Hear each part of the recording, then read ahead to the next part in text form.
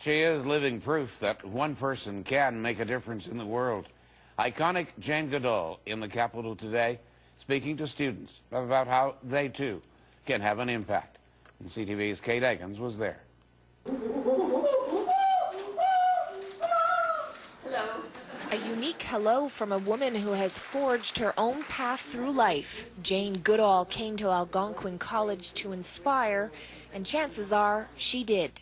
Have we compromised your future? Yes, we have. And I feel a sense of desperation.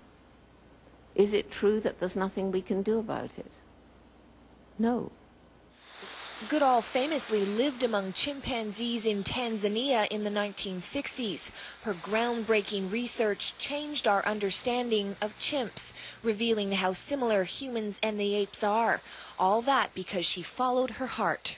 I dreamed about going to Africa from the age of 11 when girls didn't do that sort of thing. Goodall was at Algonquin to urge these high school students to dream big and leave their mark on the world.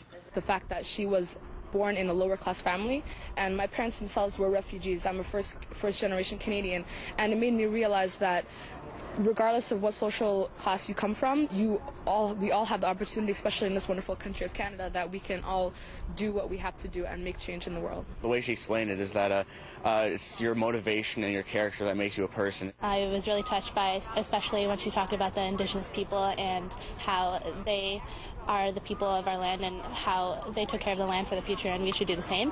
And being Aboriginal myself, I feel like I've told so many people that, and just to hear another person say it was absolutely moving. It seems Goodall's words did inspire the 74 year old's hope that they can carry on her life's work protecting the planet. Kate Eggins, CTV News.